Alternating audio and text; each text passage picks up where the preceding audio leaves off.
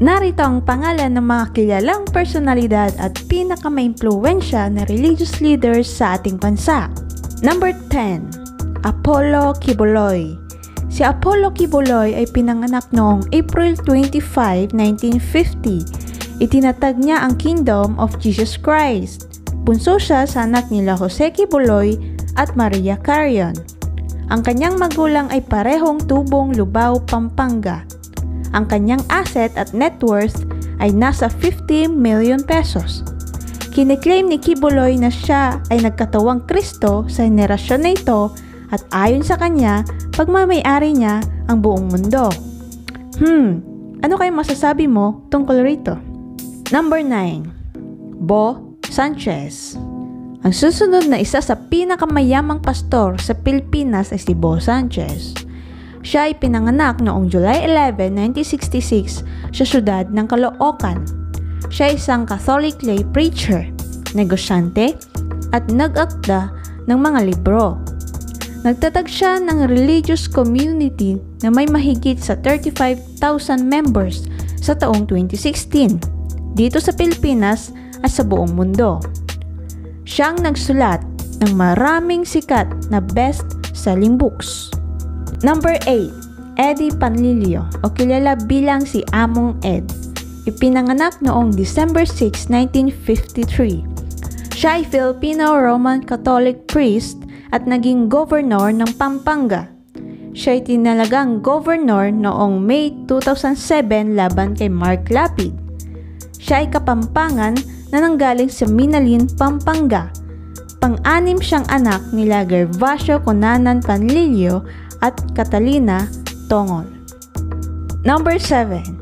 Arsenio Tan Ferriol Si Arsenio Ferriol ang nagtatag ng Pentecostal Missionary Church of Christ, Fort Watch noong 1974. Ibinukod niya ang kanyang sarili sa Foursquare Church. Meron siyang sariling radio station at television network. Ang kanyang pinamumunuan ay umaabot na sa mahigit 60 countries worldwide. Number 6. Peter Tan Chi Si Peter Tan Chi ay isang senior pastor at nagtatag ng CCF o Christ's Commission Fellowship. Ang kanyang congregation ay tinatag sa Pilipinas noong August 1984 na mayroong 60,000 members sa taong 2018. Ang CCF ay kilala bilang isa sa pinakamabilis na lumubong religious organization sa Pilipinas. Number 5. Aglipayan Supreme Bishop ang Aglipayan Church o kilala bilang Philippine Independent Church ay isa sa mga oldest religious organization sa Pilipinas. Itinatag ito ni Aglipay noong 1902. Nagtatag siya ng sarili niyang simbahan at pinangalanan niya ito sa kanyang pangalan na Aglipayan Church. Ang kanyang organisasyon ay naging tanyag sa Luzon at Visayan region na mayroong 6.8 million na miyembro nationwide sa taong 2018.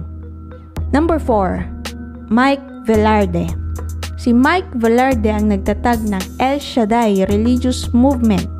Hiwalay na grupo ito sa Catholic Church. Subalit niyayakap pa rin niya ang mga turo sa simbahang katoliko. Number 3. Eddie Villanueva Si Eddie Villanueva ay pinanganak noong October 6, 1946 sa Bukawi, Bulacan. Itinatag niya ang Jesus is Lord Church sa kanyang murang edad siya ay naging isang aktivista at komunista.